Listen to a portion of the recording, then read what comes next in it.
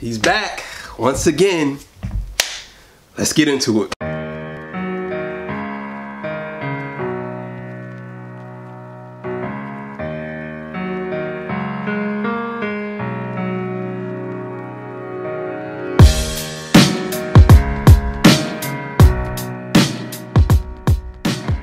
Alright, man, Torture Talk.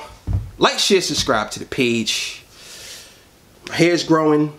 You know what it is. If you want to donate, the link is in the description. Hit that thumbs up.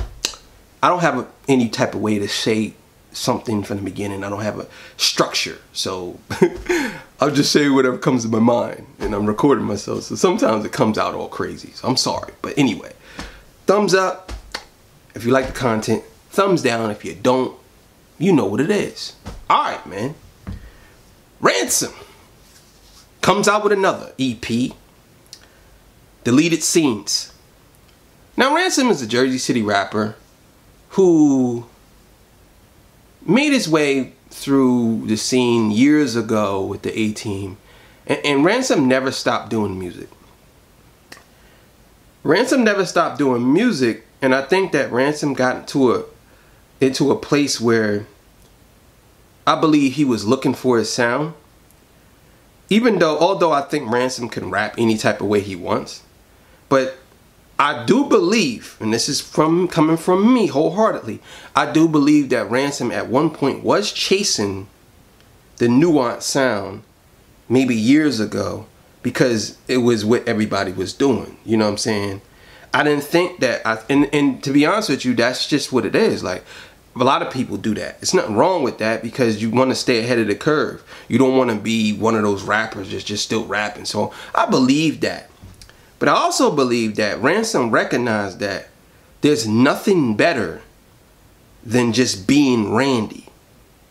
You know what I'm saying? And I think he was always Randy, but I think now he's grown. He's a little more mature. He's much more mature, I would say.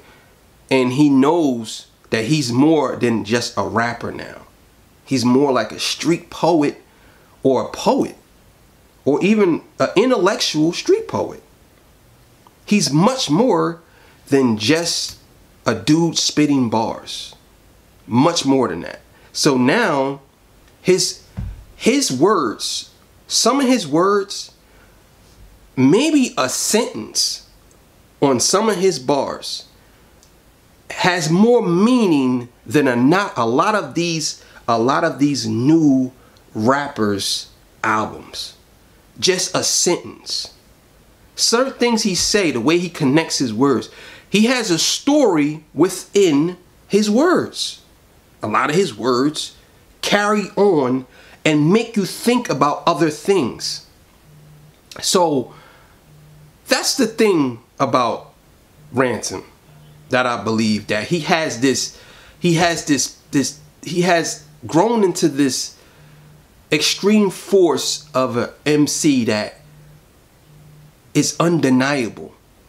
Undeniable. You cannot, there's, there's no way anyone can tell me that if you listen to him, that you wouldn't automatically want to know who he is. Because he has became that type of MC. He found it and he crafted into what he wanted it to be.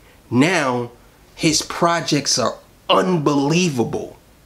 Like, even his EPs are unbelievable. It's like, what am I listening to? Like, what? Like, wait a minute. Like, don't get don't get me wrong. Like, nothing's perfect, but this is damn near perfect. like, like, what do you want me to say? Like, it's like, it's like, what do you do at this point? What do you do?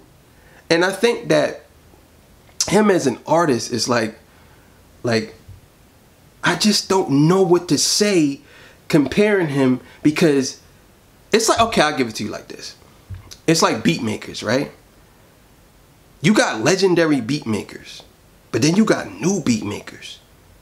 And sometimes you might get caught up and say, damn, these new beat makers are better than the legends. And I feel like that about Ransom sometimes. I listen to his work, I say, damn, he's better than a lot of legends. Like, And he's a legend himself because he's been doing it for a minute. Don't get me wrong.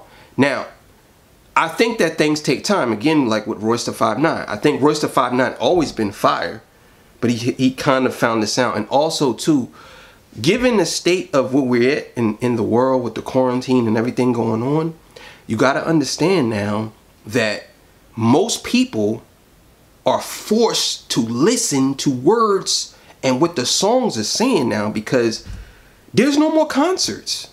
There's no more big videos. Most of the videos are coming from these artists who are, you know, newer but not uh really mainstream. And a lot of these people, they forced to listen to the words now. So I think that this is where Royce wins. This is where Ransom wins. This is where uh this is where Benny the Butcher wins. This is where they win because they're very good with lyrics. And I think that Ransom get into this project, the EP, it's called Deleted Scenes. So his the director's cut scene director's cut scene one, two, three, then deleted scenes. And it's like he has a whole theme going on. And that's what makes it so uh, amazing that he's sticking to what the theme is. You know what I'm saying? And he's still being him. This to me puts him at the rapper of the year to me. He's the artist of the year when it comes to rap. Hip hop artist of the year is Ransom to me, hands down. He put out four projects and features, and the four projects he put out is either a strong nine or a ten. And he has one more coming out. Crime scenes. like, come on. So if he has one more coming out, and he already put out four, and he has one more. What can you really say? Now I could just imagine going forward. He's only getting better. So if if if he's putting out these albums in the next year, if he puts out five albums next year, what what? Like come on. I'm sorry I had to go off on a tangent, but it is what it is. But I'm let me just that ain't even the review yet. But let me get into the review. So Alright, so I'm just gonna judge this album because it's an EP, so it's only four songs, right? I think it's five songs, four or five songs, and it's 10 minutes long. But boy, that's an experience.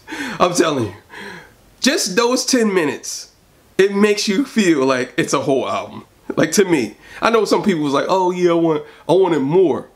But this is an experience. It's like it's like a project of its own. Like even though I know it's it's supposed to be connected to the other two, but it's like if these are your throwaways, buddy, come on, man, come on. So the lyrics, of course, is a ten. Like you, can, I can't, I cannot, I cannot go no lot lower than a ten with the lyrics. Lyrics is a ten, man. Like he's top notch. I want to do a whole video on the elite lyricist class. I want to do a video on elite lyricist class and I'm gonna break down who's in my elite lyricist class. And he's definitely in it. So the elite lyricist, one of them.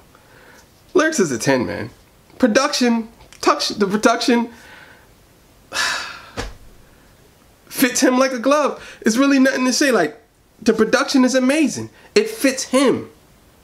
And I don't think that a lot of rappers can do what he's doing. Like some of these joints, he just rapping over the sample. There's even no beat behind it. But just the way it's placed, and he's just the way he's doing it. It reminds me of 9-5, 9-6, that type of vibe, but at the same time, it's like it's modern. You know what I'm saying? So I get that. And then sound quality. Sound quality to me on this one was okay. It wasn't like something that was super crazy, but it was okay. Could be a little bit better. But either way, I'm gonna get this album a strong nine, pushing up to a 10. Like I said, he's not giving out nothing that's less than less than a 10 to me. Less than a, uh, mean, sorry, less than a, uh, not less than a nine to me. You know what I'm saying? He he he's he's putting out some amazing material. and I can't wait to see what crime scenes is gonna be like. And if it's anything like these, I, I just don't know what to say. Anyway, Torture Talk. Like, share, subscribe to the page. Hey man, Ransom. Keep doing what you're doing, man. You're an amazing artist, man. You're an amazing MC. I think that if you keep going and you do this, you keep this up for the next five years, you're gonna probably be one of the goats, bro. Torture Talk, you know what it is.